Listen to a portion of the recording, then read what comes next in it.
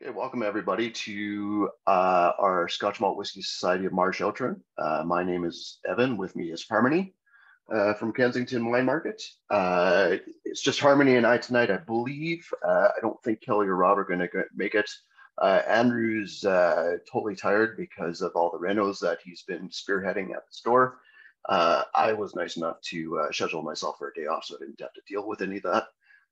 but it means I'm nice and fresh for all you guys. Uh, so we will get started uh, in just a moment here uh, with the tasting. Hopefully you guys saw the PDF file that was uh, linked, which actually correctly linked this time in the uh, tasting email. the link has just been put in the chat again as well. But just for a refresher on the order, if you haven't looked at that, that Outturn PDF file, we are starting with hazelnut bubblegum at number one. Pretty Wacky will be number two. Sandalwood Olive Press will be number three. Old School with a Twist is number four. Marmalade Matured Cognac is number five. Number six will be For Pete's Sake. And number seven will be Fortune Favors the Brave. So as we typically do, uh, we will do our uh, sort of lightning round where we taste through everything blind at the start here. And then from there, uh, we will start uh, or we will go back through the whole lineup again uh, and reveal all when it comes to the bottles, uh, where they come from, how old they are, and how much that favorite bottle that you found uh, is going to cost you. We do have all the bottles available uh, tonight. I'll put them live uh, during the uh, the reveal at the, near the end of the tasting there, and then for anybody that wants to order they're welcome to do so on our website. After that, we do have uh, a few bottles in the lineup that will be uh, limited to one per customer, and those are noted on the website as well. But uh, with that being said, uh, hopefully it's not any, well, hopefully we do have some first timers in here. We'll see. I know we have uh, somebody in who just moved from uh, Calgary to Winnipeg and has been able to join us. So that's very cool. welcome, Michael. I'm glad we, we were able to get you a kit and you were able to get it home safely. And yeah, let's uh, let's start off with whiskey number one, which is hazelnut bubblegum.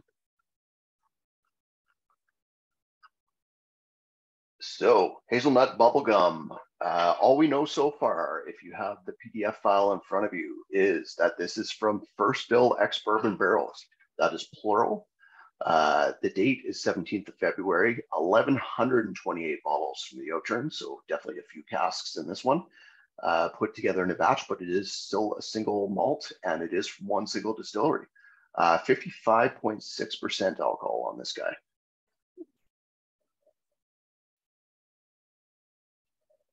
Yeah, we're happy to have you back, Mike. Uh, glad you could join us on this one.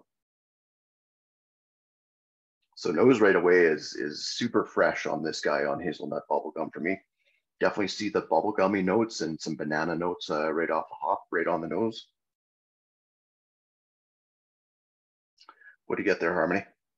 Uh, just lots of apples and butterscotch. Um, yeah, butterscotch. Good call. Yeah. yeah. Uh, you definitely get like even on the nose, there's a, a little nuttiness there.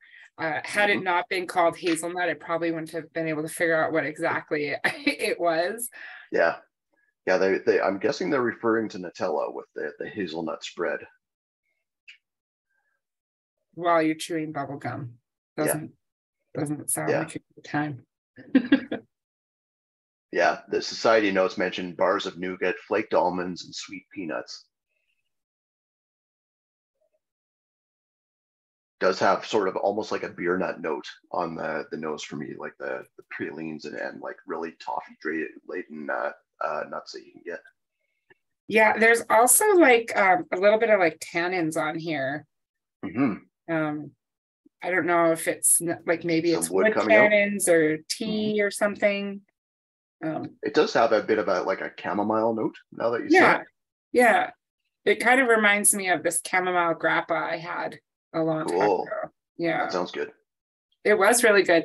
I ordered yeah. a case. Nobody ever bought it, uh, and I would pour it for people, and it just didn't seem to be for anyone but me. But I really enjoyed it. nice. I was just doing a check when uh, we mentioned tea because our, our uh, tea fact checker Jeff Surja isn't with us tonight. It doesn't look like. Interesting. Yeah. yeah. A little bit of uh, little bit of sunflower seeds on the nose right now for me.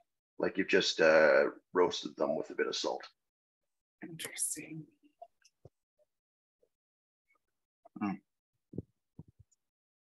55.6% alcohol and super approachable on the palate. Like not a whole lot of rough edges in there at all. Maybe because this is more than one cask, a batch of casks put together. Uh, might have been rounded out a little bit. Still a cask strength though. It's it's quite oily. Yeah, it does have a really nice oiliness to it. Yeah, it's Uh, really Jen- Jen says ha, better tasting than I expected based on the name. Uh, Chris, uh, definite woody notes on the nose for me. yeah. Yeah, and even after uh, having a taste of it, the, the wood note still comes out on the nose. I, I would say even a bit more. Yeah. It's kind of peppery and and has like a little bit of spice to it.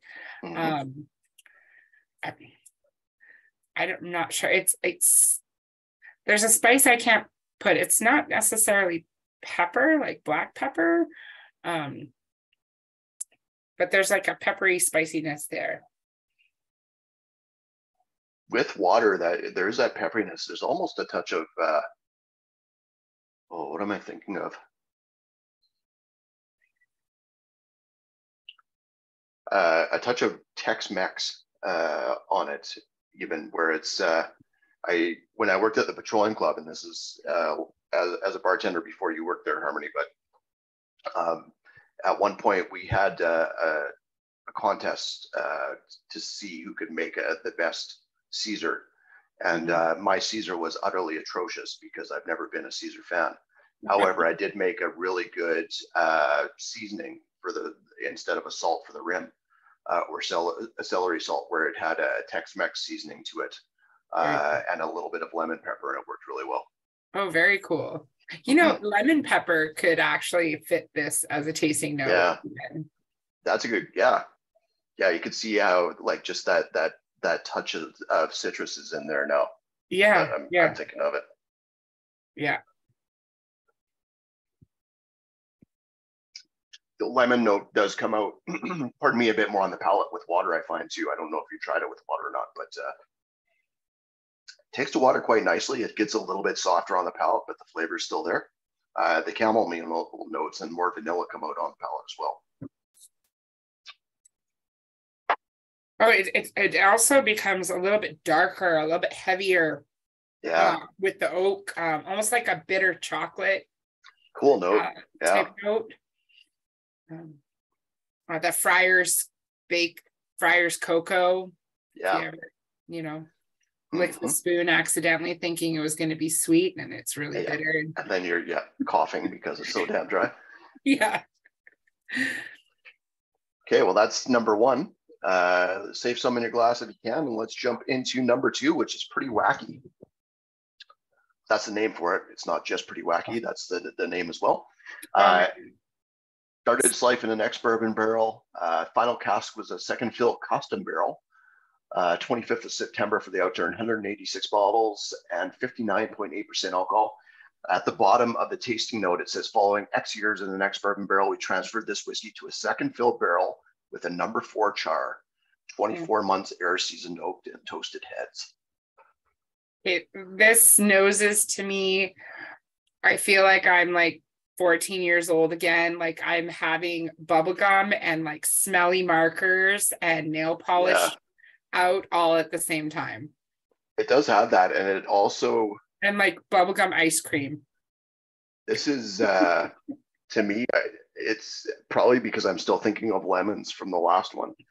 But it, it's like you just squeezed lemon on uh, Cedar's plank salmon that's just getting barbecued right now. It's got those big wood notes as well. Yeah. But it's like a really fresh salmon and the salmon super itself doesn't have a lot of Yeah. smell. Yeah, just Yeah. tons of lemon on it and a ton of dill on top as well. Yeah. And that cedar plank just cooking away underneath it. I wish I could pin what which uh smelly marker this is. Yeah, but there's a bit of that chemical like uh not just as a the nail polish to me it's just killing me yeah. I'm gonna say it's gonna be that like a blue one where they they've got that like they were aiming for raspberry. blueberry. Yeah, blue raspberry. but it it's it is that it's the the the chemical compound that makes the smell, not the uh, actual blue or raspberries. Exactly. Uh, Andrew McKay says uh, that nail polish smell for sure.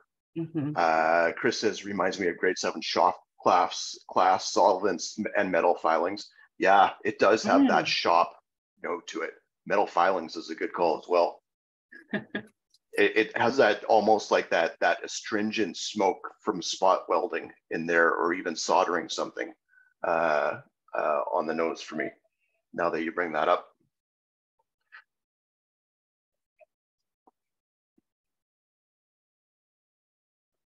The palate's pretty cool. There's a lot going Yeah. on. it's got a, a really like rich burst of flavor right up front. Um, definite fuzzy peaches and Haribo gummy bear notes, candy Yeah. wise, uh, on there. But it, it's like you have a uh, uh, a burnt marshmallow uh, along with it, like the where it, it spent a little too long in front of the fire and got into the flames. Uh, and you got that that charred marshmallow note with it as well. Yeah. This is weird. This is like literally taking back to like 1994. Uh, Yeah. I can hear the Backstreet Boys playing on my CD player. Pretty wacky, that's for sure. It is Um, pretty wacky. Yeah. Tyler Drever says uh, cherry cough syrup uh, or cherry cough drop, sweet with a bit of tang. Yeah, it does have that that tangy Oh, yeah. sweetness to it. Yeah, that's Yeah. that's what I'm seeing as like a, that fuzzy peach note as well. But uh, cherry cough drops totally fit the bill. Yeah. And I, for me on that exhale, it's full blown those fuzzy peaches. Or Mhm. pardon me, at the inhale after the first sip is like sweet peaches and that Yeah, sour sugar. yeah. Mike Tucker says thought I was drinking Buckley's first taste. Yeah, Ah. that'd be uh, this would be the lightest Buckley's I've ever seen color wise. That's for sure. It's not even op- it's it's it's transparent. It's not even close to being opaque. yeah.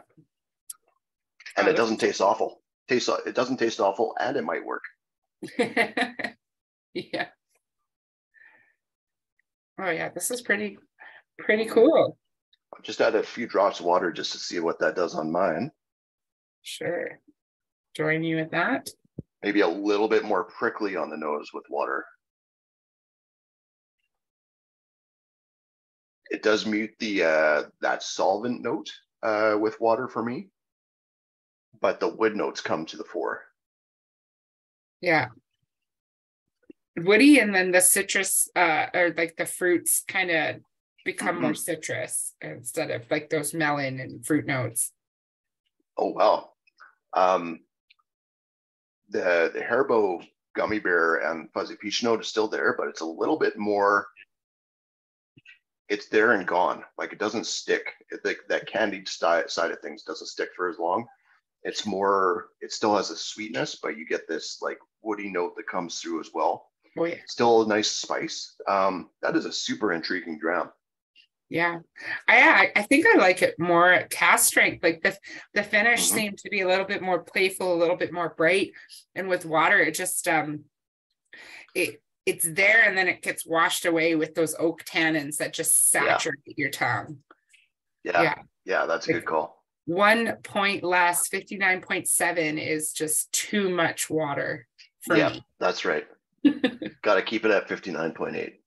Mhm. But I'm, Okay. I'm very curious to know what, what, time in the glass will do.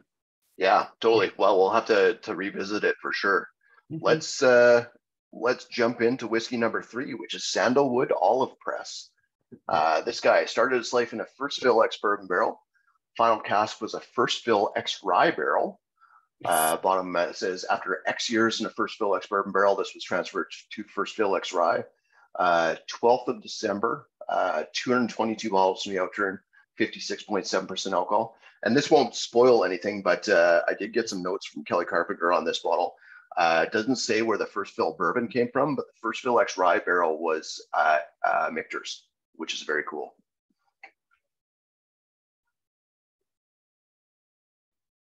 All right. Nice citrusy note again, right off the hop there. Yeah, like banana. like when you open your lunchbox and there's a banana Yeah. in there. It's not like It's- you're eating a banana. yeah. It's like the essence. This of isn't it. This isn't like a, a totally brown banana either. This is still a slightly green banana on the nose for me. Mhm. Mm, A little woody. Yeah, definitely For some sure. Wood and and polished wood notes in there for me. Nose is like there's even like a touch of like linseed oil or something there. Cameron says banana banana bread, pardon me. Hmm. Maybe a touch of shoe polish there as well. Yeah, fresh cut apple smells. Andrew says. Good call. Yeah, Yeah. Yeah, I'd, s- Definitely. again, I'd say like green apple uh, for me there. There's just something green about it. Maybe I'm thinking of the, the green and the Michter's label on the rye. Maybe that's what's doing it. It got me thinking about that uh that artificial like green sucker with the caramel. Oh, yeah, yeah.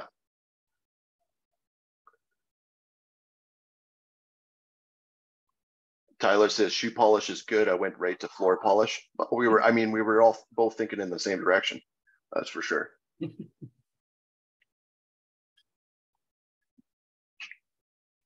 Mm, Oh, it's it's That's a- spicy. And That's it a wild little palate. bit- It reminds me of rye a little bit. Like it really took a lot in. Um, it, it- you know, it reminds me specifically of Woody Creek rye right now, where Woody Creek rye has that like pulling vegetables out in the garden. Like it has that sort of garden fresh green note to it on the palate. That Yeah. sort of earthy but super fresh uh, sort of vegetal note to it. Yeah. Turnip, touch beets, touch Yeah, cucumber, skins. beets and and turnips. That's a good call. skins. And then you get a little bit of the dill as well, like uh, Yeah. fresh, fresh dill, herb. Um, yeah even even into like uh not a full on like uh super well a bit spicy but like a thai basil on the nose right now. I just had vietnamese for lunch so uh that that thai basil was coming right out for me. You definitely get like um a little bit of chocolate too on the palate, like the darker chocolates again. hmm Mhm. that's uh i gotta say when i put the lineup together uh this one did not really impress me uh on upon first taste Mm. uh i'm quite enjoying it right now though i'm gonna try a bit of water just to see what happens Yeah, and it- for me, uh, anything that says olive makes me scared. yeah same I same don't, I don't like olives unless they're No. black olives on nachos.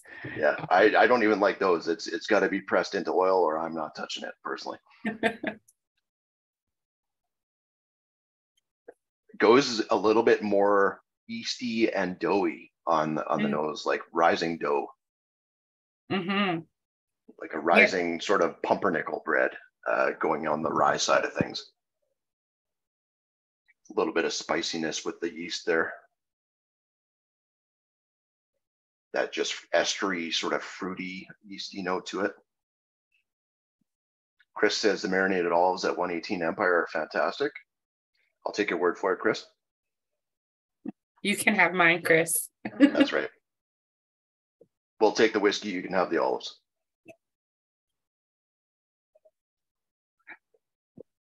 Oh, with um, oh yeah, with some water, those garden notes really shine, Yeah, uh, and they don't that is. go away as quickly as without water. Yep. This this totally makes me think of Woody Creek on the the rye side and uh, Heaven. Hill on the bourbon side. We had an Elijah Craig single cask that we had selected. The last one we had, pardon me, that uh, had a lot of those sort of garden notes to it that were really starchy in style.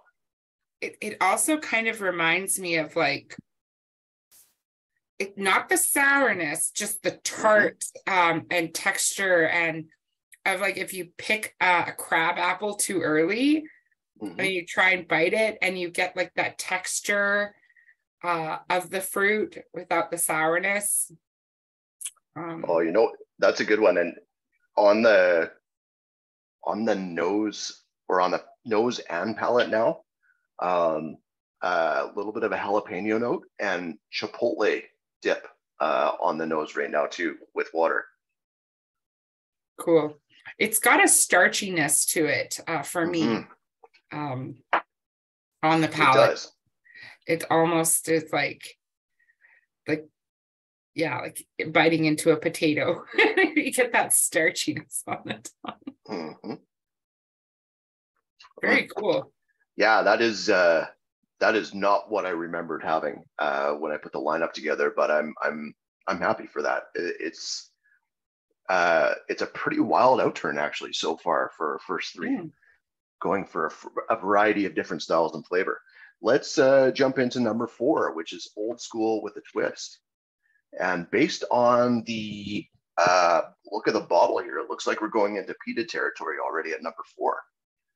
Uh, old school with a twist started its life in ex bourbon hogsheads. That's plural, but it was finished in one single ex bourbon barrel as its final cask, 245 bottles neoterm, 61.2% alcohol at the bottom of the society's notes, it says after X years of age, we com- combine selected hogsheads from the same distillery into a variety of different casks to develop further. This is one of those casks. Oh, this is beautiful on the nose. Yeah.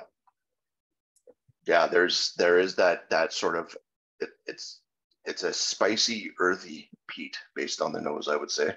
A hmm It uh, a little bit floral. It definitely leans more. Uh, it's like towards like a maybe like a Highland style. Yeah. Yeah, Off the hop, it makes me think Ardmore right away, where you got that that barley driven yeah, style. but still creamy. You get like there's Yeah. nice roundness to it. You get like vanilla Mhm. and, and oranges and yeah, yeah, this would be like uh like Liberté should do a yogurt uh with whatever this flavoring is. Uh and it, it'd probably sell sell like hotcakes, at least to uh us peat freaks. yeah, Yeah, gorgeous nose, spicy, still earthy. I'm still getting those floral notes. Mhm. Uh apple wise, maybe into like a, a a more like ripened golden delicious apple in style where it's a little bit softer, Mm. Even into baked apple notes.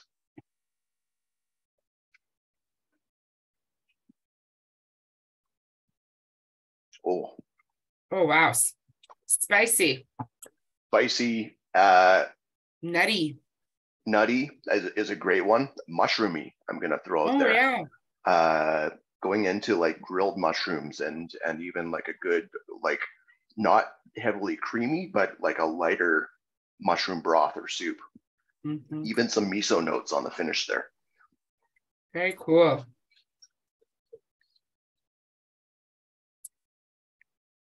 Oh man, Tyler beat me to it. Uh, may, Tyler, I didn't think I read that, but maybe subliminally, uh, your miso soup note is what got me there. Uh, Tyler says, "Wow, that's a cool palate. Miso soup is a good note from the society. I guess they have it in the tasting notes as well. Okay. Uh, the nose is a bit of a head head fake. I totally agree. Uh, this uh, this has this this not quite meatiness, but this umami note that the the nose didn't necessarily hint to uh, for me. yeah, yeah. The palate really gets you. Yeah. Uh, Chris is getting a note on the nose that reminds me of those white crumbly fire starter cubes. That's cool. Hmm. Well, I don't think it needs it, but I'm gonna try it with a bit of water. This that that spiciness and that umami note, and there's some wood in there, but it still st- stays really juicy without. Yeah, I'm wondering if water is kind of going to to uh, ruin the balance that it has there. We'll see.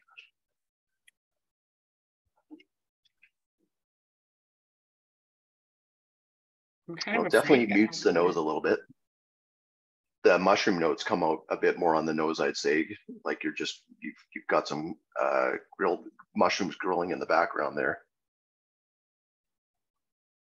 No, the it really mutes the spiciness of uh uh, of those earthy notes that I was getting earlier, though. You get a lot more fruit on the nose with some water. I'm finding. Mhm.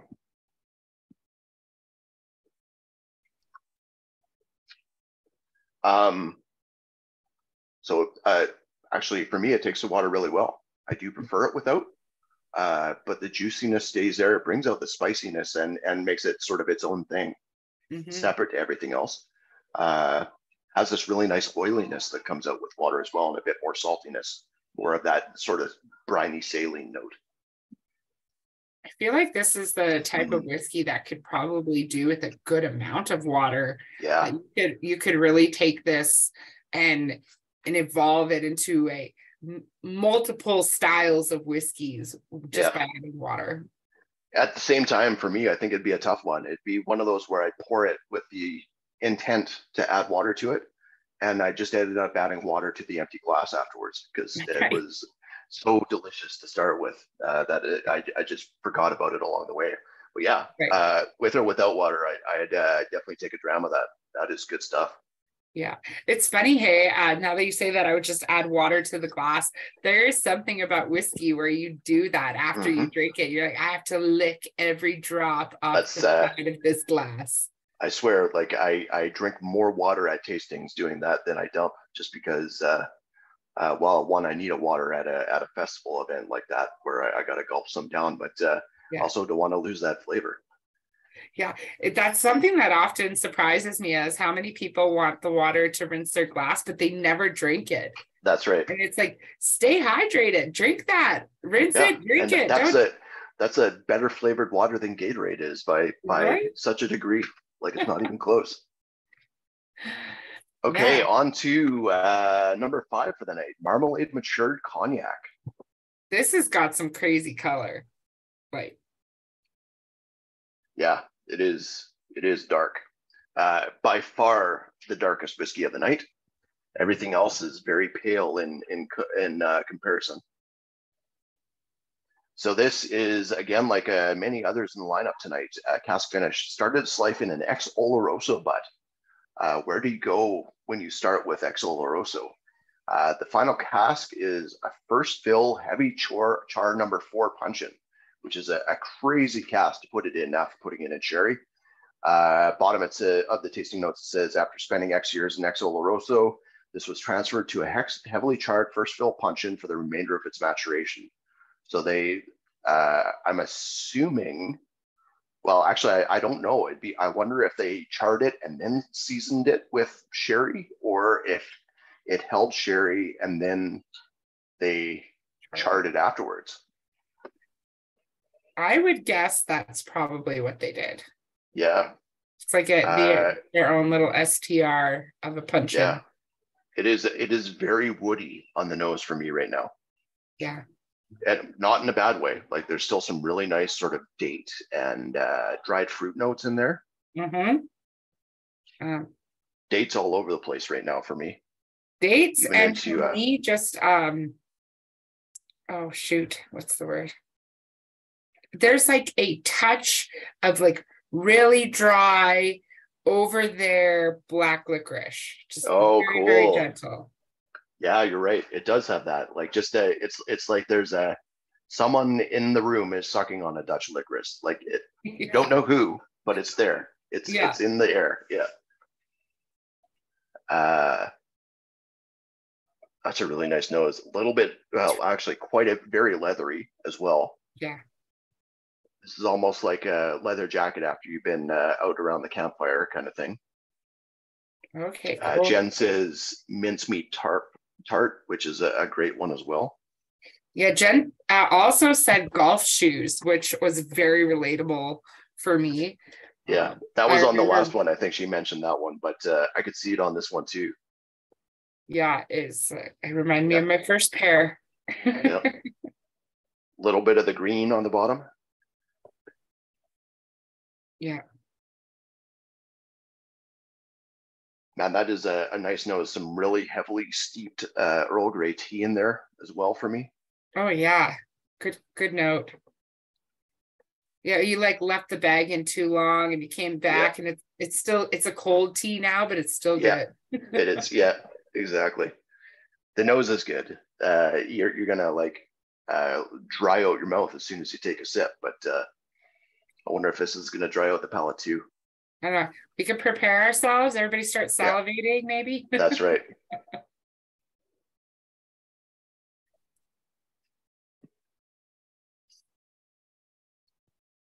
wow.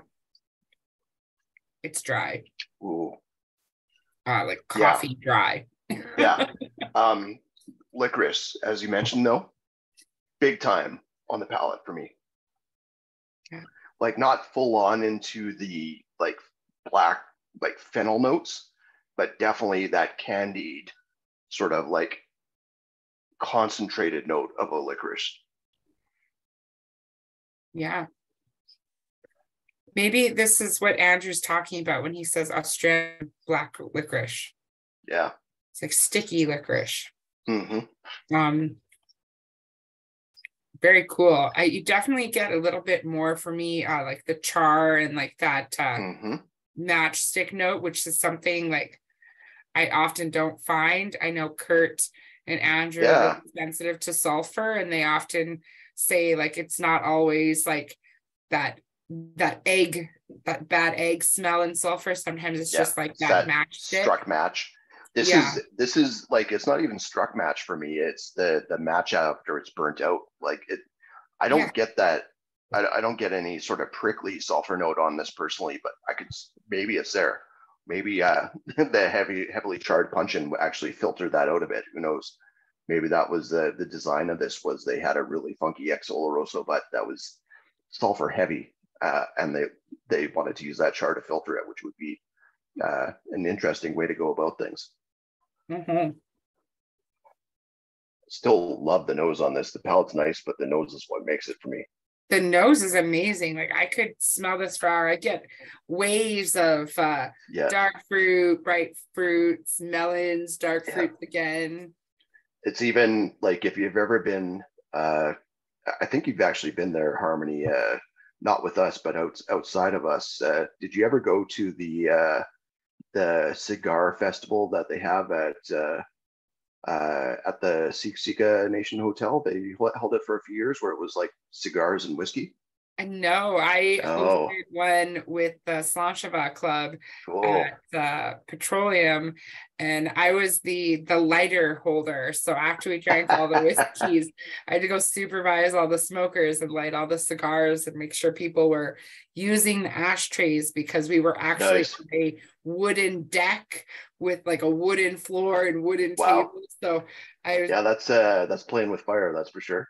literally yeah and this poor guy who lent us his patio had just spent like the entire summer building his Yeah. custom cedar planked patio and then we're like Yeah. can we have a cigar night on that Yeah, let's season it with ash and sparks. yeah it Yeah. never happened again we were responsible but just like he was petrified the whole night which is Oh, why i be said too. i will supervise Yeah. the smokers um but yeah. no I, Ken, thank you. It was the Rocky Mountain Smokeout that I was thinking of. I need to go to this Yeah, it, and I'm not a cigar smoker, but it that that the smell of the cigar smoke, all the different perfumed uh, notes in the air, plus the the the ty- typically heavily sherried or peated whiskey that went along with it, because you Mhm. needed typically something big uh, to stand up to all the cigars Mhm. in the room. But uh, uh, it reminds me of being in that room at that event. That's cool. Yeah, and my uh, best memory uh, and shared experience with cigars and whiskey was at the Banff Whiskey Experience.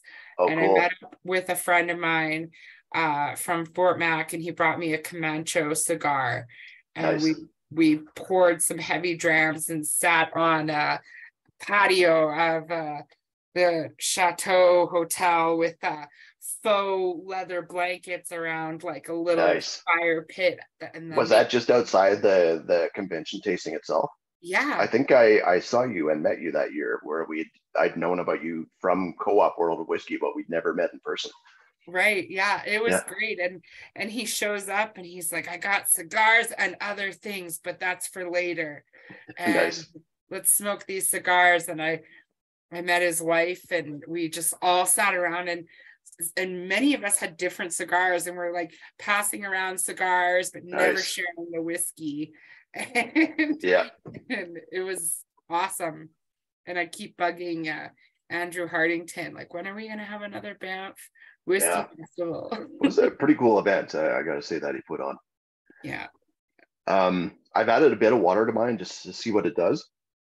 Uh, does not kill the nose, which kind of surprised me. I, am always wary of, uh, especially wine cask and, and sherry casks, uh, especially when they're finished, of adding water. But um, the leathery notes stay there. Uh, the dried fruit notes maybe take a step back a touch. The, the black tea note is there still. Yeah, I often, I don't know about you guys, but. I often get a little wary of adding water to sherry. Yeah, same.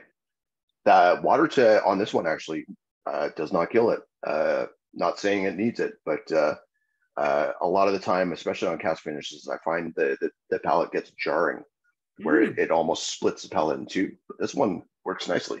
No, it, it to me it became a little richer on the Yeah. palate, and the, the tannins kind of calmed down just a little bit.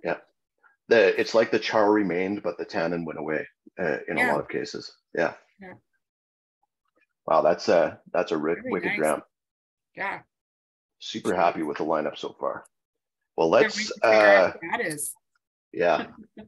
Let's jump into number six, which is called For Pete's Sake. And Pete is spelled like the name Pete, not P E A T, it's P E T E.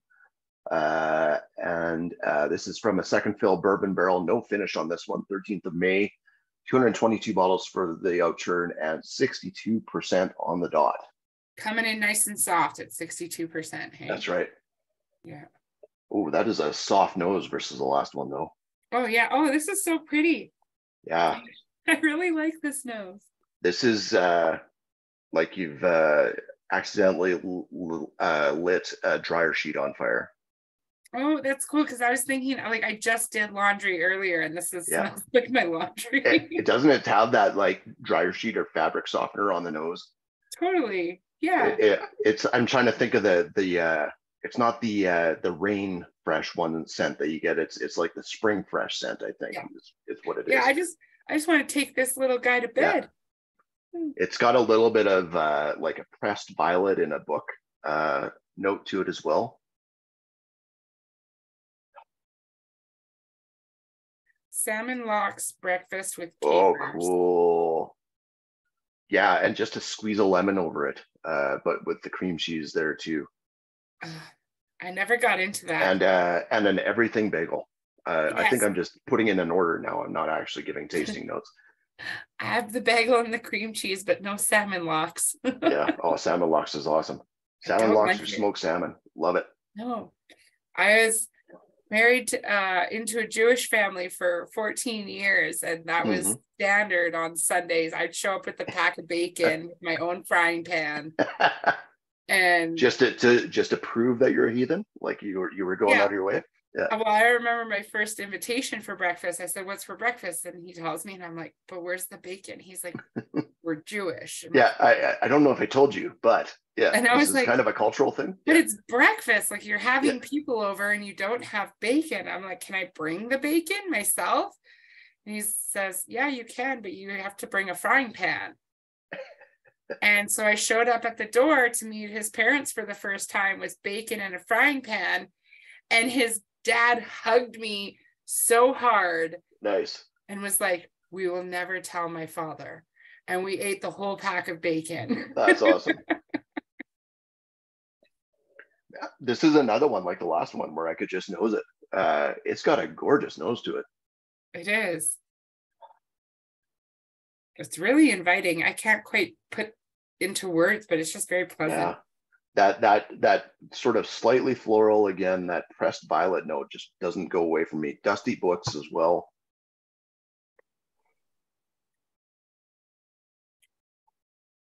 It's like Mm. hitting a really good library uh, Mm. and and just like scanning the bookshelves. Yeah, library's a good note. Floral, it's Mm. very floral on the palate It does remind me like we uh we did the 30 for 30 on the 28th. Yeah, how was that actually? I, I'm uh, sorry I missed that. You are sorry you missed that. Yeah, It I've got a was- kit here. Maybe I'll have to try some later. it was really cool and uh the Isla Violets 30 was the oldest Bowmore I had ever Yeah. tried. So trying an actual Bowmore 30 was very cool and it, it it immediately took me to the Isle of Violets. Yeah. And And I was like, wow, I didn't think I would ever remember drinking a flower so memorable. Yeah. But this, this does have uh, a bit of that. There. Yeah, yeah. It, it's not as coastal as the Isle of Islets 33 is, no. but it does have that. Like, I wonder if that is maybe a hint towards the distillery on this one. We'll have to see. But it definitely that that violet note again, like it's it's almost like getting into uh uh like a violet liqueur. Like it's it's it's got that that creamy richness to it. Yeah, creme de violet style, yeah. very watered down. Um oh I just I was mm. updating my gorgeous palette. Sent me the the filing notes and I haven't read them, so I finally caught up. All good. Um, and it says hoppy IPA, which is super cool because cool. This, this, did remind me a little bit of the experimental series as well from Glenfiddich. Mm-hmm. Um, That's a good note. I, I, shamelessly remember drinking that entire bottle by myself. I'm gonna say this is like a more of a. This isn't like an Andrews like give me all the hops you can give me oily dank IPA. This isn't West Coast. No. This is East Coast, where yeah. it's like a little bit creamier and tropical in style. It's it's not leaning into the bitterness. It's yeah. leaning into the the the tropical and citrusy notes. Yeah, it's very pretty. Man, uh, I said the palate was or nose was excellent. I the palate stands up to it. That this is a nose and palate whiskey for me. Fantastic yeah. stuff. I've added a bit of water just to see what happens. Tyler says it's awkward how drinkable this is for 62%. yeah, this is uh this is a, a, a, bottle made to create awkward situations. I think is uh, I'm right there with Tyler on that one. It's that it it's like that too dangerously drinkable whiskey. Maybe that's where the for Pete's sake name comes from. It's like yeah. Pete brought this to a house party when he should have just yeah. stayed at home and drank it at 62%. Yeah. It's like thank you for sharing, but now things are weird and it's not the whiskey. so uh, Society's notes have a, name, a, a note on the name here. It says, when we added water, it was even more perplexing and fascinating. I agree on the nose. I haven't tasted it with water yet, but the nose does become more fascinating and perplex- oh. perplexing if that's possible. Um, Add water. But it, yeah, I'm I'm trying. I'm going to try it with water on the palate soon here. Uh, fascinating as we find ourselves on an emotional high magically transported back in time to the Woodstock Music Festival of August 1969 as we listened to the band Sweetwater performing for Pete's sake. Well, there was definitely a boomer in the crowd uh, doing those tasting notes on this one. my, I don't even think my parents were born in 69. Yeah. The, yeah, the nose still works. It does go a little bit into like a lemon pledge note uh, on the nose for me uh, with water. Still has this like beautiful smokiness in there. Uh, for me, it's uh, a combination of hmm. like salty and chalky, like uh, yeah, minerality, like limestone. Chalky is a great note. Yeah, palate wise, man, that like this is a, a head scratcher for me because uh, I think I just like it slightly more with water but man, this works so well with, uh, or without water, pardon me, but this works so well with water on the nose and palate as well. That mm-hmm. uh, that's an incredible whiskey. Yeah. I can't wait to find out what it is. Yeah, me too. It's well, I know, but I'm, I'm, I'm pretending for everybody. I know. Um, I, I'm so blessed that I get to sit in on these because I'm not a member. Um, every once in a while you try a whiskey and you're like, I need to be a member. Yeah. But I have a maxed out credit card due to my habit of buying whiskey. Yeah. And at a limit I should never have been given. Yeah, this um, is uh, Harmony. I think you're single handedly keeping the store afloat right now. Uh, I literally asked Andrew yeah. to keep my paycheck.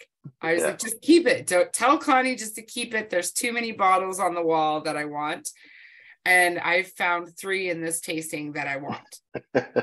well, we haven't even done the last one yet. Uh, okay. Before we go on go on to whiskey number seven, I want to point out that uh, uh, Chris Walker's uh, what he said here: if bacon flowers existed, this is what they would smell and taste like. Uh, that is a T-shirt waiting to happen, Chris. Uh, I'm taking that, that is a fantastic note. Can we put that in your app, in the the photo app, bacon flowers? Yeah. We will make Chris a t-shirt. Yeah. I owe him for my cheeky Yeah. comments I made to him when he was Also- in the store last.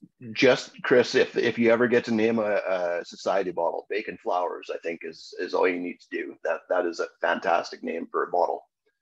uh, that being said, let's jump on to the seventh whiskey here, which is Fortune Favors the Brave. Uh, again, or actually this time from a first fill expert from barrel. The last one was from second fill. 7th of March, 202 bottles from the outturn. Uh, a, a slightly lower ABV at 57.8%. Cheese. Oh man, cheese all over the place. This is uh This is like three kinds of cheese. well th- this isn't so uh th- and this is one of those notes where I got to say but in a good way after this. Mm, This is uh driving by a dairy farm uh for me. This is like uh it's not even driving by a dairy farm, it's uh walking past an open dairy farm barn where it is like so cheesy and but there's there's not just cheese going on in there it's so lactic but it's so uh farm driven on the nose i would say as well And by farm, do you mean beef? Because it smells like Uh, a cheeseburger. this this is definitely a cow byproduct i would say that i'm smelling in here This is cool. Yeah it does have a burger note in there too though as well there, there's a there's a there's a big mac with the sauce on there uh totally. This is there weird. yeah I haven't had a Big Mac in months. I might order one. wow jen uh, is uh linking to how to make bacon roses that is Jen, uh genius. that sounds like a rabbit hole for it to go down later tonight for me. Oh, they're beautiful. Yeah. Uh, Andrew McKay on this one says smelling some grass the cow is eating right now. Totally agree. Like that, it, it's like cow chewing its cud in the pasture just as it's about to go into the dairy barn to get milked. Right, This is very a very happy cow. Yeah. Yeah, I maybe just- it's a maybe it's a wagyu uh cow or uh or something like that. Mm. Pardon Mm. my ing- uh, ignorance, but what's a fishmonger? Uh, it's like a cheesemonger, but they sell fish and cheddar instead of cheese. So just like a fish salesman. Yeah. I don't know any sailors. so this is not what I expected palate wise based on the nose. Um, still has that rustic smoky peat that was on the nose, Mhm. but the palate is not cheesy as much as it is tropical for me. Very fruity, very barley driven, still creamy, but uh, mm, that is a, a cool dichotomy versus on nose versus palate for me. Andrew says I need to go to San Francisco to see the fishmongers live and in action. So, Evan, it sounds like Yeah. we need to do a uh, American uh, whiskey tour. Yeah. So I can get some culture in Yeah. my uncultured life. That's, uh, I mean, there's places we could see in San Francisco for sure, but uh, I think if we're going anywhere, we got to start in Kentucky. Let's do it. We have some opportunities there, That's right. and we know some people. I think the one you're talking about, I think their warehouses are in Washington, though, if I remember correctly. Not that that's a bad thing. hmm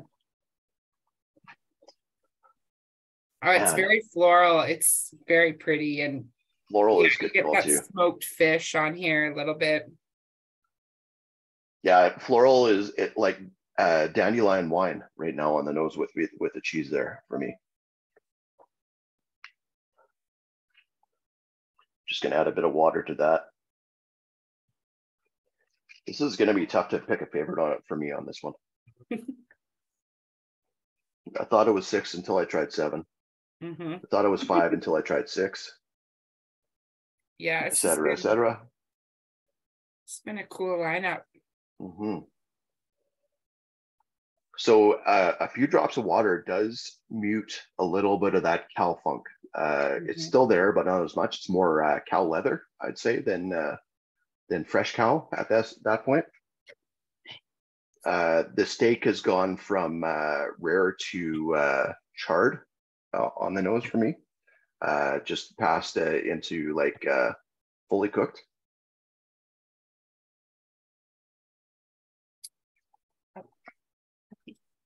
And it's gone from big backs to Burger King, where you got the the the charbroiled burgers on there. Mm. Palate is still really good. It's a, definitely a lot shorter though. It's not as juicy and and big on the finish uh, with water. I think I do prefer this one without. Well, that was our first round through. What did you guys think of the outturn so far? Um, that was a, a super fun one for me, I gotta say. Oh yeah. Um, I don't. With water, the the last one really changes a lot. Actually, hmm it's like a totally different whiskey. It is. It's. I. I think the nose benefits from the water if you don't like the cheesiness, Mhm. but the palate just isn't quite as good. The the tropical notes just don't stick around in the same way, Yeah. and the And- floral notes go away too. hmm Any favorites for you so far, uh, Harmony, out of the first round? Um, well, the flashback to 2000, uh, 1994 was kind of fun. like seriously, I I'm in the basement. We just finished watching the Spice Girls video for like the seventh time today. We're taking a break. We're playing some Mario Kart. Uh, we went to 7-Eleven, bought some candy, some nail polish from San. Yeah. Uh, So uh, just to just to double check on the Mario Kart, just to see if we're on the same wavelength here.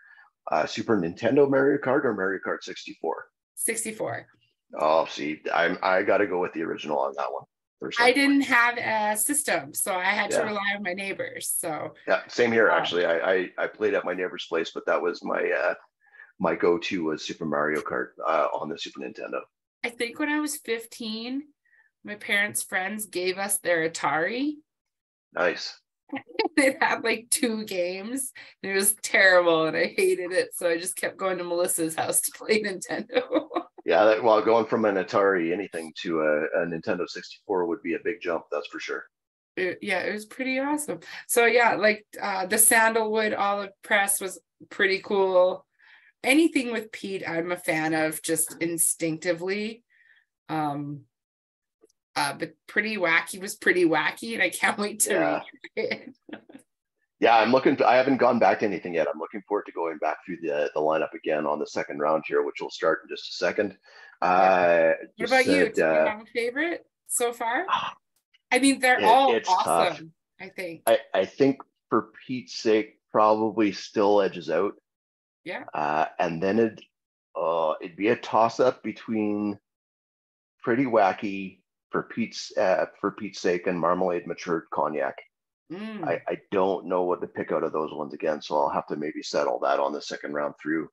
Uh, uh, Dave Ann is saying Harmony only wanted three bottles. I'd take all seven. Nice Yeah. picks. Uh, Mike Turner says three, six, and seven for him. Uh, Tyler says six, then four and five. Uh, so quite a few sixes so far, which I totally agree with there. I'm I'm just curious about the price because maybe this is how I cave and get a membership. Yeah. Um, Yeah, if then- there's one of here, one in here that's like below a thousand dollars, that might just do it for you, right? that might do it. and I'm thinking I might have to place an order with Uline for some like 400, 500 mil empty bottles and go halvesies. Yeah, some of my friends call. out there just start building my collection but but slowly because if i start bringing home more full sealed bottles i might Yeah. find myself very quickly divorced. But the trick is if you're all if you're looking for tips though stash a few empty boxes amongst your full boxes of whiskey so you can just fill them up. Mhm, and no one is the wiser. call. yeah. Chris says divorce ain't so bad. Uh, I know I've done it before, but I don't want to do it. yeah, I'm I'm still uh, working on survival of my first marriage and trying to just stick to that. So uh, yeah, let's Um, not not yeah. encourage that. that's right. I'll I'll just uh, taste and then uh, drink vicariously through the rest of you. I think is, the way I do things. The hazelnut bubble gum is way more bubble gum. Cool. Well, let's go back to it. Uh, let's uh, jump back into hazelnut bubblegum. We'll we'll try it again, and then we'll do the reveal on that one. That that hazelnut note definitely is at the four now for me. Mhm. Still has a nice floral note in there as well.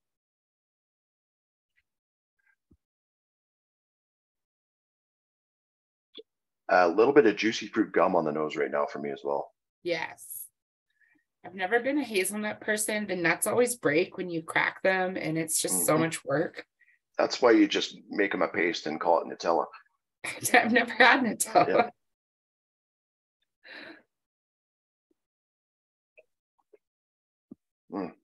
Hmm. I don't know. I don't know if I could pick up this blind what this is. And I'm interested to see if anybody has any guesses. Um, we have definitely had bottles from this distillery in the society uh, uh, at the same age over the last uh, year or so. Okay, so I'm new to this, so pardon my Mhm. my ignorance here. Looking at the label, Yeah, this is a batch, a batch style. It's not. yeah. like So this is something that, uh, and that's a really good question. Um, what I will do here, uh, and this will give uh, everybody a little bit of an idea of what it is here, is I'm going to share my screen and then we'll chat about this a bit more. Because I have a blown up version of the uh, the label here. So let's do this. So this is the label that Harmony's talking about. Uh, this is hazelnut bubblegum. Uh, this is what they're calling a distillery 18, or pardon me, distillery 19 rare release. Uh, it is 18 years old, and uh, the fancy uh, graphic on there, uh, pretty cool actually. Label. I like the the guy blowing a bubble with this bubble gum there, and some aliens blowing bubbles with the bubble gum in the background. Um, so this is uh, a bottling done for the Highland Whiskey Festival. If you were in our outturn uh, in February, I believe it was, we had a Islay Whiskey Festival bottling from Caol Ila, uh, where they did that as a batch release as well. This is what the Scotch Malt Whisky Society is doing uh, to, in order to share some of these festival bottles more with around the world. Um, there's there's been cases in the past where it was just a single cask and uh, everybody wanted it, but nobody got it essentially because uh, it was just there was no way to parcel it up fairly. When they do a batch like this, it allows them to uh, send it to multiple society chapters around the world, which is really cool. So this uh, is an 18-year-old from Glen Garioch Distillery, distillery number 19. So Glen Garioch is spelled Glen space and then Geary looks like Garriock, and that's how a lot of people pronounce it. That's how I pronounced it for years and years and years until I was corrected. So uh, Glen Garioch is uh, Glen and then G A R uh, I O C H. Yeah, thank you, Harmony, for uh, signing that out for me.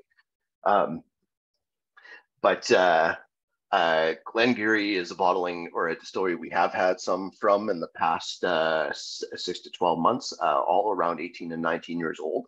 And in fact, the bottlings that we have had have been, uh, I think, both sister casks to the casks in this one.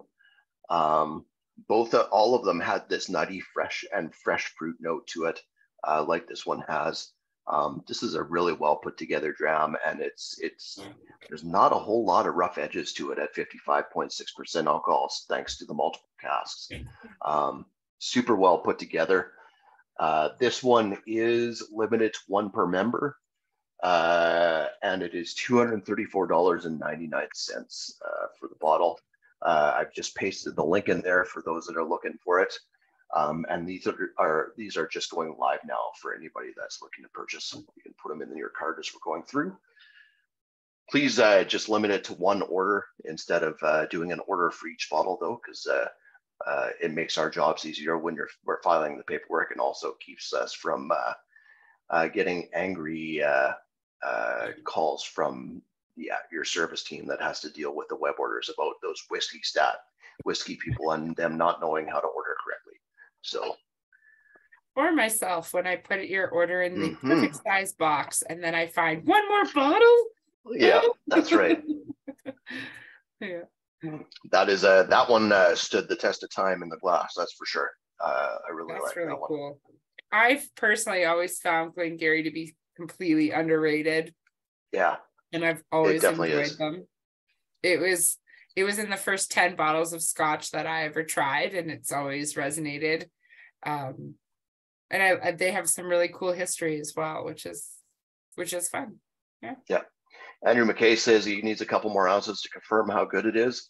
Uh, good news, Andrew, is it is a full size bottle that you can purchase, uh, and there's plenty of ounces in that. okay, next up is back to pretty wacky with whiskey number two. I'm super curious to see how this stood up in a glass. I want to give this to my Mormon sister who is addicted to fuzzy peaches. yeah, that's uh, get her addicted to something else. I take it, eh? Yeah, well, that and Coke Zero, those are her kryptonites. well, yeah, you, tell her she can do better if it's Coke Zero. That's it's horrible. Yeah. Anytime I see her, she shows up with this like liter and a half jug of Coke Zero. Oof. And I know I'm like, you disappoint yeah. me. Yeah, she's she's Mormon, but she does wear it that still has caffeine, right? Doesn't it? Yeah. Yeah, yeah okay. it's okay. They've loosened up over the years. yeah, like Coke has or Mormonism, because uh, I wasn't aware about Mormonism loosening up. no, they've really they're desperate, so they're losing. Good to hear. Good to hear. But oh man, it's so fruity. Yeah, it's it's fuzzy peaches, but it's it's specifically the yellow lemon Haribo gummy bears now for me. Oh, cool. You know, I get like a soft, I know we were talking about cigars earlier, but there's like a softness to that, like of a yeah. tobacco yeah something in here it me. also has uh speaking of softness and and uh, i'm just going to stick on the the 7-eleven candy train here that uh because this just brings me back to being a teenager and going into 7-eleven for the five cent candies um uh, uh root beer uh gummies right now. Yes. That that slight vanilla earthiness to it. Or even the cola gummy bottles. Yeah yeah, yeah. the Coke bottle ones too yeah. Oh, do you remember the one cent gumballs, the sour gumballs? Yep. I used to throw down that dollar like I was a pimp. And be like, a hundred one cent bubble gums, please. That's, I swear that uh, all those like five cent candy manufacturers are just owned by dentists. That that's probably the, the biggest shareholders in any any of those candy candy concerns. That would be a genius marketing ploy. That's right. Jimmy is not cool. just isn't flossing enough again. We're gonna have to take All some right. teeth out, and it's gonna cost you. I need to know how much this bottle is because I will drink this in a couple of days. The entire bottle without remorse. Okay. I, I got to say that that stood up nicely. Uh, I'm still not convinced it's my second favorite. It might be my third though. Uh, that okay. is uh, that is a really cool bottle. It's dangerous. But I will share my screen. It is a dangerous dram, that's for sure. Yeah. There's a few of those in this lineup, I believe. I have a sweet tooth. I love peaty, savory whiskeys, but I have a kryptonite for sweetness uh, mm-hmm. built within me, and that just nails it. Okay, so the this is Scotch Malt Whisky Society 128.19, and this is not from Scotland. This is from Wales. Yes. And that means it is Penderyn Distillery. An all female run distillery. Very cool. Membership it is an all-female run distillery. and this is 11 years old, uh, and it is 220. This is the first Penderyn Scotch Malt Whisky Society bottling we've seen since 2016. Wow. Very cool. They they honestly they should have just named this Candy Crush. Uh. Would have been a good name for it. Maybe that's trademark though. Maybe they can't do that. Mm-hmm. It's very cool. Yeah. Okay, up next. Little Sorry, tannin on the finish on that, which is nice. It kind of so- slowly dries out all that sweetness. Well, and I should share the link on that one uh, for those that, that are looking for it. Pardon me. So once again, that is 128.19. And there is your link for that bottle. All right. Okay, next up, back to Sandalwood Olive Press. Still so garden vegetable heavy. Mm-hmm. A little bit of that shoe polish coming in again, though. Definitely. Yeah. That those uh, Sharpie and solvent notes. Yeah, this is depressing me a little bit because it's instead of like the fun times with friends and like flavored sharpies, I'm like, ah, oh, it's Sunday morning and I don't want to go to church, but my brother and dad are polishing their shoes. and it's like it's like a fasting Sunday, so we don't get to have breakfast. Oh man, so here's a society based on your your note there. Uh I would make this. Don't call it sandalwood olive olive press. Call it polished polished shoes and polished pews, is what it should be called. Yeah, very cool though. Just a mm. bit of a, a grassiness in here as well. I'm finding. Even has the uh the a little bit of the the snuffed out candle note in the background of uh, some of the churches that I've been to. Hmm.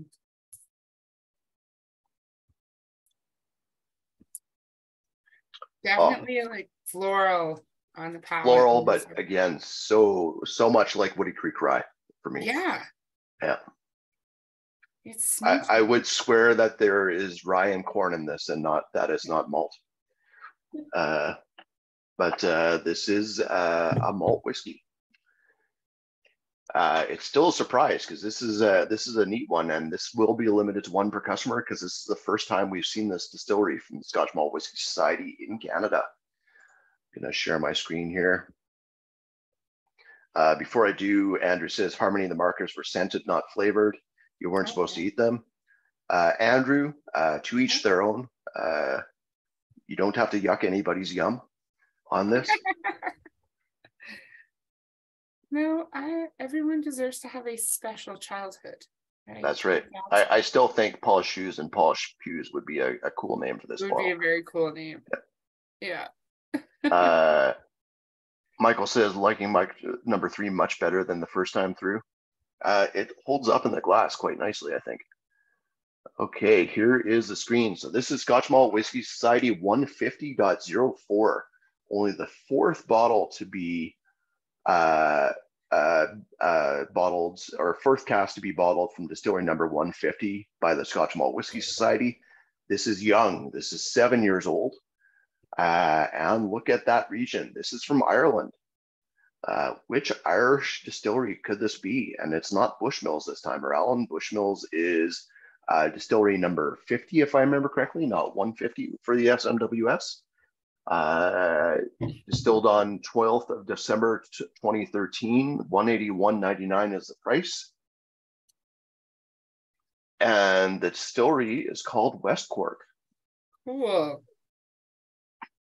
So first bottling uh, that we've seen from the Scotch Malt Whisky Society on the side of the pond from West Cork Distillers uh, West Cork Distillers is in uh, the county Cork, just like uh, if I remember correctly. Actually, I should double check that, but I, based on the name, I'm I'm pretty confident on that.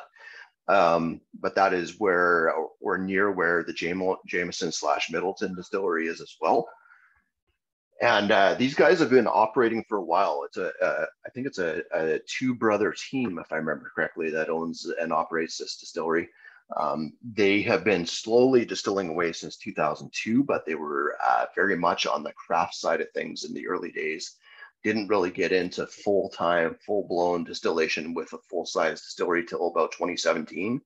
Uh, but I think they produce in the realm of 7 million liters a year now. So uh, they are definitely not a small concern nowadays.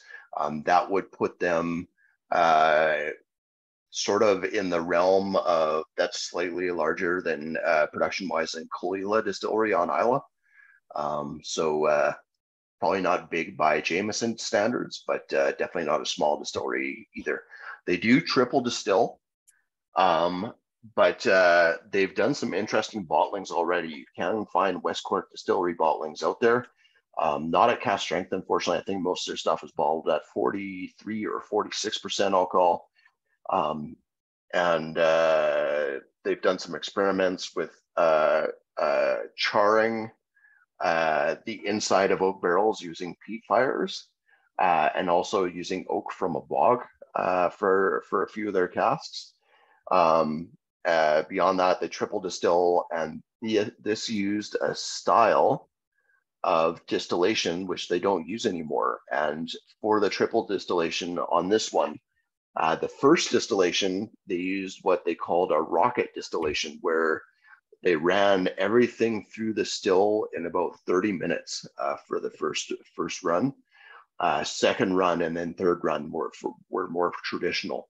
Um, so it definitely changes the spirit style where you get something big and meaty on that first run because it's you're you're you're not really cut doing a big cut on that. It just be taking everything and then running it through again. But uh, it does have this really rich style to it because of it, which is really cool, and some really cool uh, notes to it as well. Uh, that was a fun one and definitely a, a lot different versus the rest of the lineup, which is really cool as well. Okay, back to number four, uh, which is probably going to be more traditional based on the name. Number four, of course, is named Old School with a Twist.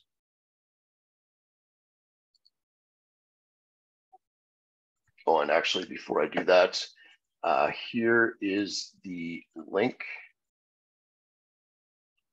for whiskey number three, the West Cork bottling, and that is limited to one per customer.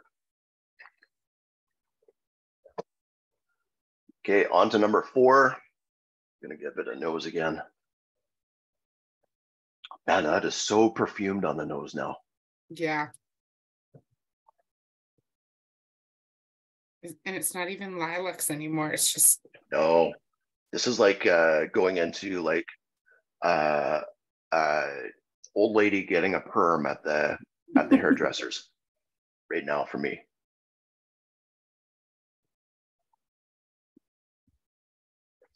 Hair was tinfoiled up at one point as she got it dyed.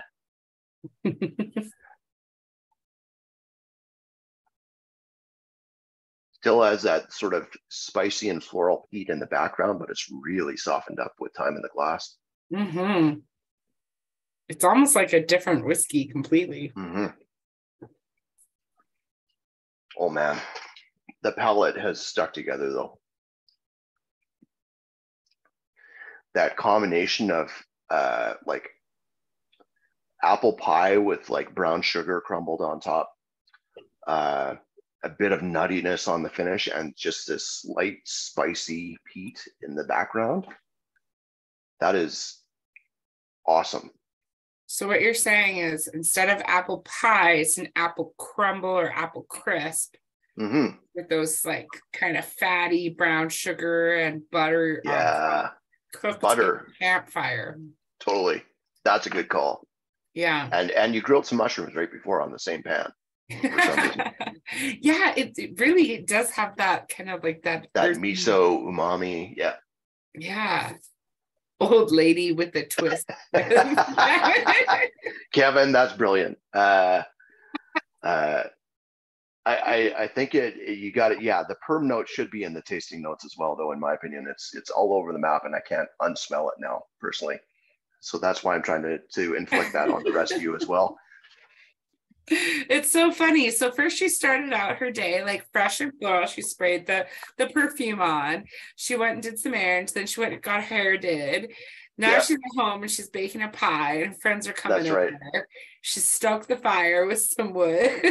yeah she she uh she skipped the polished shoes and polished pews and and didn't go to church that day just so she no. could get her her full day in though at the the hairdressers yeah. it's a me day whiskey yeah that's yeah. right that's right uh this uh I don't know if I, there's bits and pieces of this uh, that I think I could pick the distillery out from, but it'd be tough. Guesses, experience yeah. panel of people. You guys want to guess on this one? Yeah, let's hear some guesses because I, I love when people guess and then when they're right, it's so exciting. That's right. Even for me, I'm just a spectator. It's great. So uh, uh, this will here's a few hints for you, uh, and this will probably uh, give it away for some people. Yeah. Uh, Ardnafroig is uh, is Chris Walker. Uh, Chris Walker's guess. Um, you are not far off stylistically, I will say on that one. Um, so uh, this shares uh, DNA with some past uh, SMWS bottlings. Uh, it is the same juice that was in uh, four, well, I just gave it away, shit. But uh, it was No Vikings Need Apply and By the Beautiful Sea and Sooty Meringue were previous bottlings from this distillery. Some of you guys might have those on your shelves, I'm not sure. Uh, Tyler got it, and uh, I did start to say four there, which was my fault, but uh, it is Highland Park, uh, thanks to the Viking note there. Uh, typically, and I didn't look at the tasting notes on the Society's bottle, uh, on the Society's notes here. Usually, they they can't get away from saying Orkney somewhere on there or Heather, which are usually the biggest hints that it's going to be Highland Park maybe I'll take a look as I'm sharing the screen and see if that's in the uh, Society's tasting notes here. So this is 4.312 uh, old school with the twist from Highland Park Distillery, 13 years old, uh, 189.99 uh, for this bottle. And uh, Society's notes, let's see, flaming orange peel, uh, rubbing the rim of a smoked orange old fashioned. That totally makes sense there. Spanish touched scallops, smoky chorizo. I don't think they said heather or Orkney in here. They did say miso soup though, uh, which is very cool. so they didn't give it away on this one, which is shocking because they do uh, a lot of the time in the notes for them, the society here. Uh, I like those other bottles. The palate on this one though is just utterly fantastic. Uh, uh, I really enjoy this one. And that I poured a little bit more in my glass uh, since I was out of the last, uh, but uh, that miso note's coming through again for me in a in a big way. Very cool dram. it tastes like a HP ripoff. Yeah. no, this is the this is the true HP HP sauce there, Michael. That's it's not my a nickname. Yeah. Oh, totally. That's HP sauce. That totally makes sense. We got to start calling you that at work. I used to work in a kitchen and my initials are HP, so they used to call me HP sauce all the time. That's fantastic. Yeah. Uh, Tyler said, if in doubt, guess Caol Ila. Uh, that's uh, that's a good call. It does have those those sort of like salty, briny, oily notes to it as well that Caol Ila always gets. But not um, overly lemon. And I no, find like it's missing the citrus. Has that yeah. like lemon kind of note to it. Oh, totally. And there's been so many from the society lately that have been like full blown uh the the salted rim on a lime margarita, like a shaken lime margarita for me oh. lately. Yeah. Okay, back to uh the the whiskey of the night though. So let's uh go back to whiskey number five and let's try marmalade uh matured cognac again. This is so uh, delicious. As we're doing that, here is the link for the last bottle of the Highland Park. I yeah, could I can't nose, wait to nose this one again. I could nose marmalade matured cognac forever. They should make this like an air freshener for oh, totally. just like a plug-in. That'd be a great name for an air freshener too, is marmalade matured cognac. And I am uh, rather new to cognacs. I tried two last night. I've yep. tried young, young cognac, and it's like, eh, I'm not a yeah. rapper. I don't need it. Yeah. Um, but yeah, once you get past the henny and into the good stuff, it's uh, it changes the game. Well, my favorite cognac of all time was uh, Hardy's Lot 70. Oh man, yeah, some of the Hardy's bottles, they're so fruity and style. They're cool. Oh, it was amazing. And then I was like, yeah. how much is it? $300? I'll buy three bottles of scotch, please. Yeah. Um, but now when I try cognac, it's I'm, you can get incredibly aged stuff for very good value, and and mm-hmm. I discovered that uh, yesterday, and I'm really looking forward to that old and rare spirits uh, yeah. tasting now with that 1928 yeah. cognac. Um, but this is like reminiscent of cognac, but yeah. I know that the you know what it is. Part of it is barley. Yeah, it's it's cognac meets amaretto for me right now on the nose, where you get that sort of like uh uh that the apricot pit note with it as well. Um, Okay. Andrew says he wants this for his in-car scent. Uh, Totally. you would be breathalyzed so often, Andrew. It's not even funny. Uh, if this was your car smell. Oh, I broke a bottle of scotch in my car once. Like it just fell out of the box and rolled. Oh. I, from that moment on, kept a stash of business cards in my cigar lighter box. That's right. In case I ever got pulled over. It's like, it's business. Yeah. That's Just what. No, seriously, officer. Yeah, it's just what my car smells like. Yeah, it's, I'm in industry uh, and not a bartender. Like, I. Mm, Yeah, the nose on this is fantastic. Uh, I'm getting more, a bit more of that, like uh, the the just uh, like the smoke from the match now on Yeah. the nose. As you cut through that apple, still, like that Mhm. to me, like that apple juice is just Yeah. spritzing out of there. Such a good palate too. I need It's more. just like so concentrated and and just so bursting right up front. Yeah. Um, drying, but again, not too drying. Like it's not overly tannic or bitter. It still has some really nice spicy notes in there. Um, that is a cool dram. I, I think uh, it, it would be really cool to try something like this in a before and after they they did the cask finish. yeah. Um, but the the cask finish on this one definitely did not ruin it. Uh, and I would, I'm guessing it actually benefited from it a lot because I, I really like how it ended up. Okay, so there are uh, a few distilleries that uh, uh, longtime SMWS uh, members are probably fond of. Uh, there's one that we always talk about as being sort of a chameleon and taking to almost whatever cask you throw at it. And that is this distillery here. I'll share the uh, the bottle uh, shot and the website uh, with you right now. So this is from Scotch Malt Whisky Society 35.310. That means this uh, distillery number 35 is Glen Moray. Um, fantastic distillery. Not a lot of official bottling from them, and and frankly, relatively disappointing official bottlings in a lot of the cases. Uh, but we've had lots of Glen Moray from the SMWS over the year years in so many different casks. It's it's crazy. Um, I've had Glen Moray from the Society that was soft and luscious, and and from refill casks and just beautiful and waxy and fruity in style. I've had uh, uh, Glen Moray from the Society that could have been a bourbon, where it was done in a toasted oak barrel and so rich and coconutty in style that it was fantastic. Uh, I think there was a bottle called To Infinity and Beyond in that style years ago that was just utterly fantastic for me. Um, they've done ex Sauterne casks, they've done ex white wine casks and Chardonnay and Chenin Blanc casks that were great as well. Um, but Glen Moray, no matter what cask you throw at it, tends to make a, a great, great whiskey, especially as a single cask. And this is uh, uh, yet another one in the uh, in the lineup. We haven't had as many sherry Glen Moray lately, and and this one was uh, uh, quite a good Glen Moray for style. Uh, it is 20 years old. Uh, you are paying a bit more for it because of that. It's 271.99. But good grief, this is a gorgeous whiskey.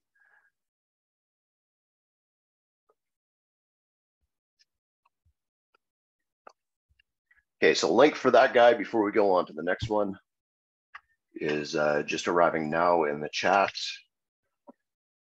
And with that, let's go on to Pete's sake.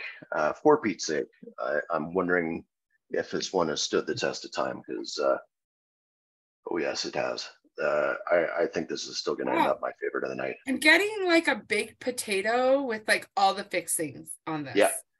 Oh man, that's a good call. Like sour cream, green onions, Chive, bacon bits. Bacon Yeah, bits. Oh, cool. Totally. You know what it is? This is in a this is a, a baked potato uh in a steak restaurant in the 80s where you could still smoke in the restaurant and there's like an ashtray with stubbed out cigarettes right next to it. this is my Irish roots are loving this Yeah. potato. But it still has it has that steak note uh, of uh, Yeah. the the next one uh, in the the in the lineup too right now with that. That is a good call. They they should have called this one twice baked potato. I don't know if we've got alternate names well. all over the place on this on this lineup. I, I don't know if twice twice baked potato would have uh as well of a review as for Pete's sake though. Yeah, that's right. That's right. Like oh all the pedophiles in the room like myself would would buy that. I mean, I love potatoes. Um so uh, note about myself. Um, you talk about the shape of women and the type of body shape that they have. Are they pears? Are they hourglasses? I've always described myself as potato because I don't conform and I love potatoes. People yeah. said, if you could come back as something in life, what would you be? I said potato. And that's terribly dull and yeah. uninteresting. But I, I won't believe you until I won't believe you until we can connect uh, some jumper cables to your two fingers and we can power an alarm clock with it. That's that's the only way I believe you. I would try that. Yeah. Yeah, for science. Oh, that. Oh, it's so. The cool. nose and the palate on this one just is like, uh, it must just be this is what I'm craving right now in in a scotch because uh, it is definitely in my wheelhouse. So, can we talk about the Woodstock note? Because I watched a documentary about Woodstock and it was sad.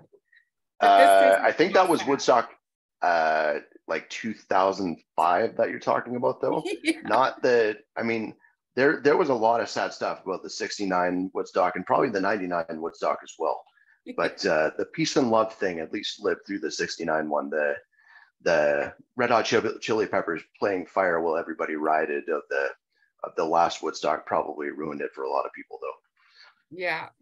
Yeah. But this is really pretty. You still get some nice citrus notes behind all that uh, smoke and fire in here. Yeah. Uh, Tyler's saying, "You mean Scotch doesn't remind you of a specific five minutes of the of your life?"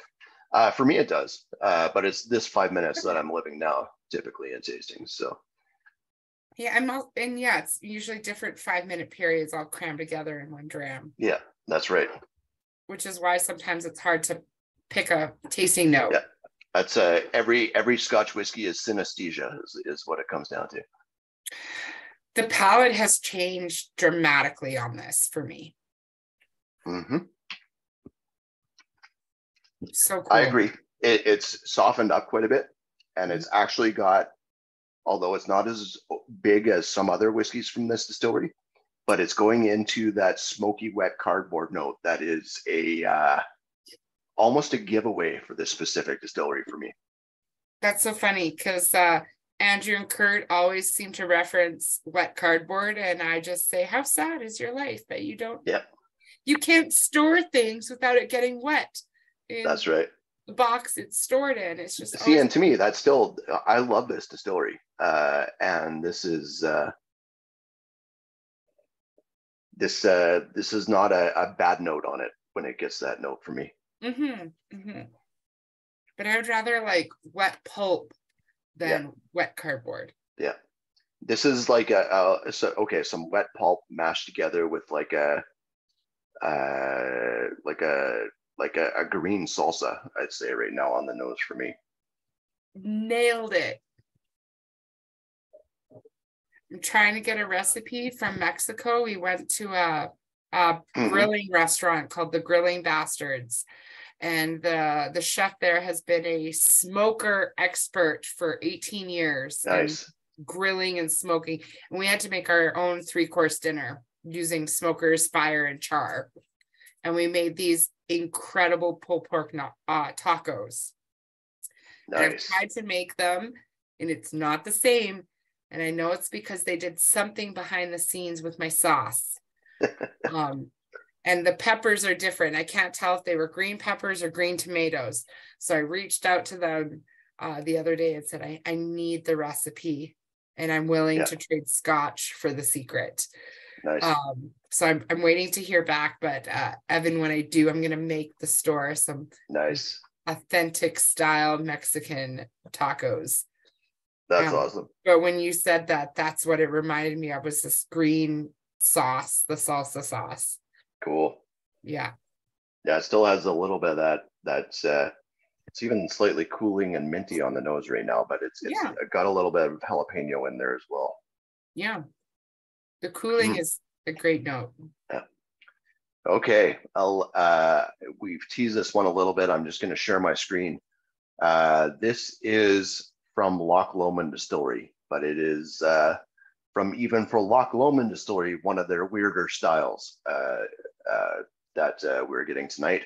The, this is Scotch Malt Whisky Society G 15.14, G 15.14. That is, means that technically, based on SWA standards, this is a grain whiskey. Although uh, this is a grain whiskey that is 100% heated malted barley that was uh, ran through a continuous still instead of a pot still at Loch Lomond Distillery. Uh, this is only eight years old. It's from the 13th of May 2013, and it is $140. Wow. Delicious. Yeah uh, this is just utterly fantastic. And and again probably just because it's right in my wheelhouse i'm, I'm probably uh, uh, giving this one a bit more weight than other people do but man i'm loving this one. Mm. okay last but not least the cheesiest dram of the night for us uh, was fortune favors the brave at least on the nose see if it's still all dairy farm and dairy Mm. barn It's there. Softer, but there. And while we're trying that one, here is the link for the last one.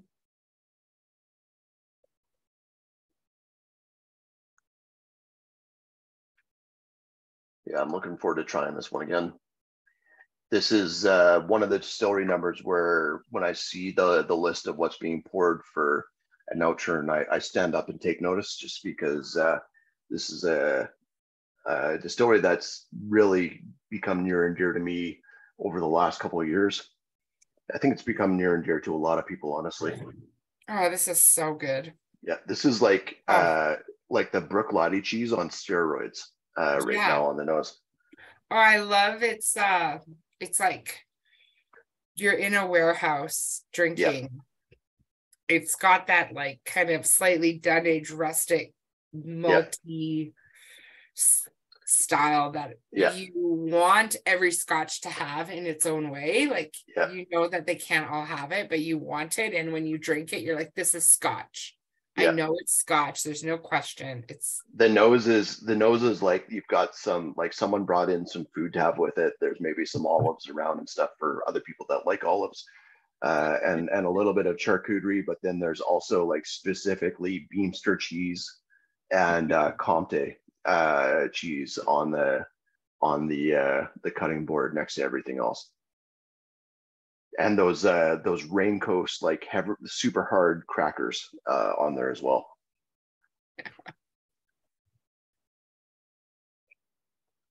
cool. Andrew McKay says the barns at Stampede. Totally agree. That that, that it's like you're just like someone is mucking out the barn uh, as well, right next to it.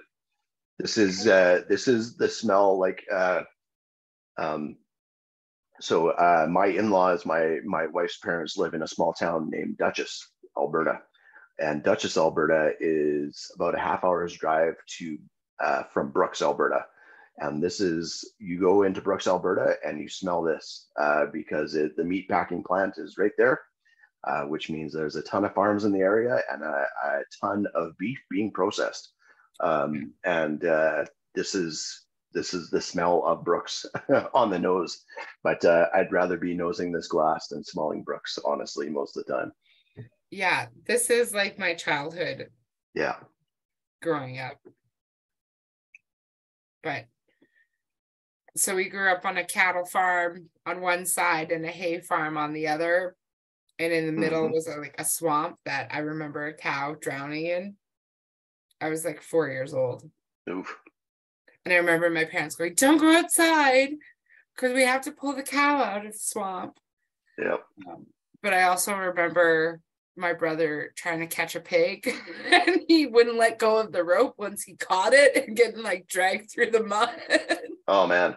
So Okay, so this I'm gonna remind me of the the donkey story after this because I've got to tell that based on the story you just gave. But I, I don't want to get too sidetracked. I want to reveal this and then I'll tell that because uh, it's apropos since Easter is coming up. Okay. Um, okay, so I'm gonna share share my screen before I get too sidetracked here. Uh, so this uh, the Mm. distillery that I was talking about for this one, this is Glen Scotia. Uh, Scotch Malt Whisky Society 93.174. Uh, again, eight years old, just like the Loch Lomond. And like the Loch Lomond, this is actually owned by the same company. Uh, Loch Lomond Group uh, owns both Loch Lomond Distillery and Glen Scotia Distillery.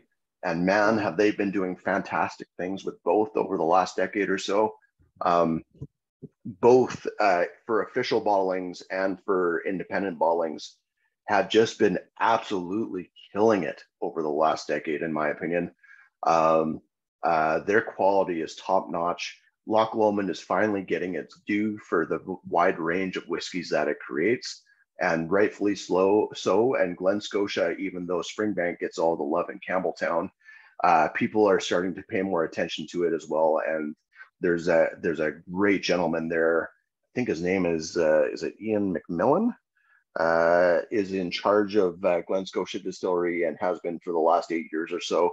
And he has uh, uh, really sort of upped their game and and given them more of the profile they deserve because it is a fantastic distillery in its own right.